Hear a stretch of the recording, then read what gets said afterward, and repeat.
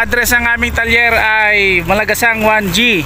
Ito, hanapin nyo lang yung landmark sa may Hospital ng Imos, Petron, tapos papasok dito sa Malayan Junk Shop. Meron kayong makikita dito na tile center. Papasok dyan ang V21 Motors.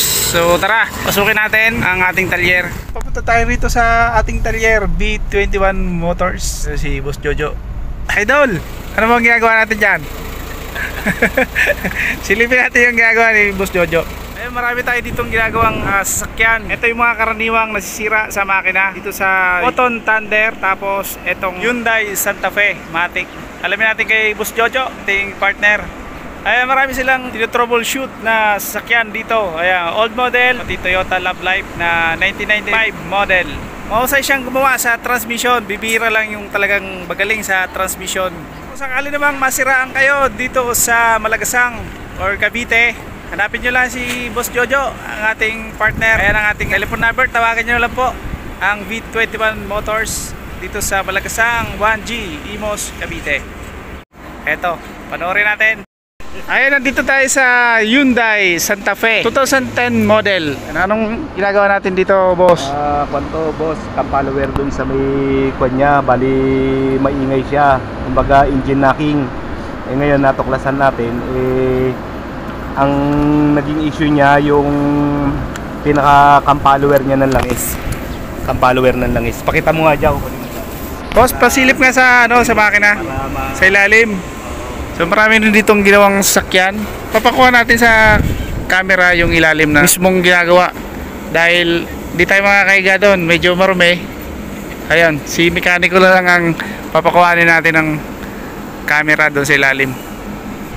Ito pala yung makina. Dito wala nang problema to. O, Ano to? In-overhaul ba to? Problema, kumbaga, oh, dating in-overhaul na yan, dinala lang sa amin kasi gawa nga nung nagka-issue siya ng engine knocking. Ngayon ito yung natuklasan natin.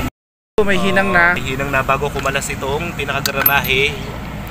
Kaya ganung nagkakaroon siya ng engine hacking. Dapat mapalitan natin ng bago to kasi ni-repair lang siya. Eh ngayon, mas maganda kung mapa- mabibilihan natin kahit surplus man lang para at least tumagal. Surplus ba? Buo?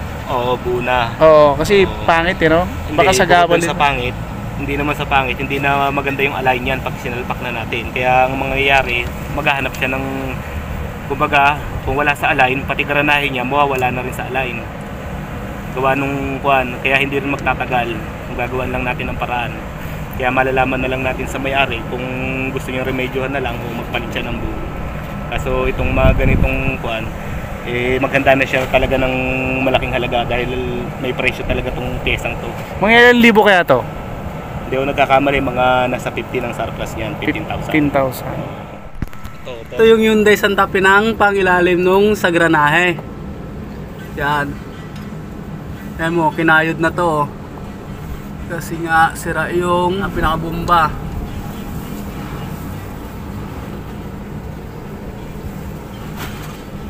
Ano na boss?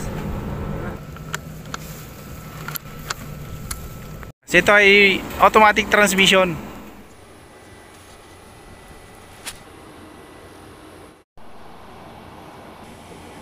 Ayan, dito naman tayo sa ginagawa na EBS, ah, Photon Thunder 2.8. Ayan, alamin natin yung mga ginagawa niya maliban sa EBS na inaayos. So, Photon Thunder pickup.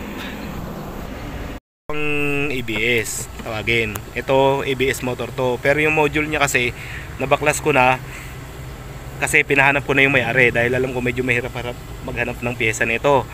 Ngayon, ang issue naman nito, yung tumatagas ang pinaka fluid niya rito sa may ABS motor kaya pumasok siya sa module kaya nag-shorted siya kaya automatic pag kahit hindi ka pa nakakapag-on gumagana na kagad ang motor niya ngayon hintayin ko na lang na dumating yung pyesa at kung may salpak natin kung kailangan natin magre-program o hindi na. Kasi sa photon hindi kumbaga wala tayong pang program na ito. Gawa nung kumbaga hindi tinatanggap ng computer yung photon.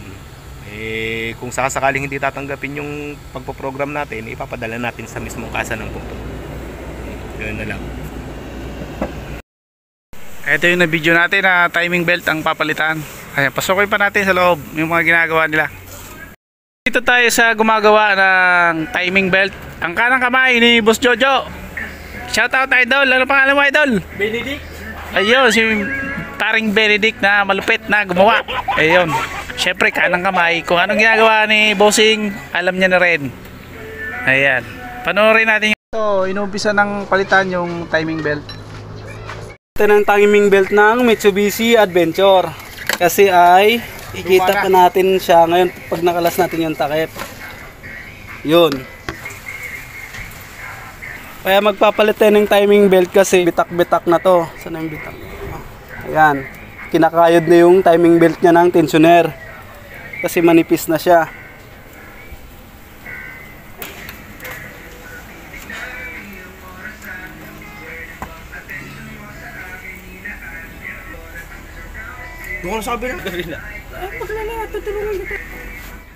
Ito yung transmission na ginagawa namin ng Ford Ranger.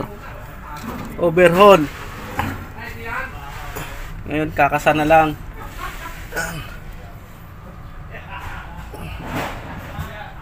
Sige, okay na. Ito, boss. Thank you. Napaka-importanting mensahe kasi sa makina, ah, bihirang masira o maraming gumagawa sa makina. Pero sa transmission, ay sa sampung ah, mekaniko, iisa lang ang pinaka mahusay sa transmission gumawa. Kaya nire-recommend ko kayo dito kay Parin Jojo. Ah, sa transmission, malupit talaga to. Ito, overhauling oh. Oh, Honda City VTEC. Ayan, transmission. Yung ginagawa niya. 2005 model Honda City. Overhaul transmission ang ginawa rito. Eltan mo doon, mga overhaul kit. Ayun, naikasa na yung overhaul kit kaya hindi natin napanood. Ah, palagi tayo nandito. Parin Jojo, palagi.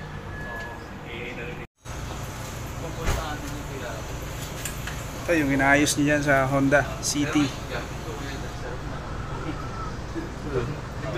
Honda VTEC. Busy kasi si parin Jojo. So, ayan, ah, pinapaalam lang natin sa inyo na isa tong mga husay na mekaniko. Oo nga. Ayun, tawag na lang sa telephone number eh, parin Jojo sa mga gustong magpagawa.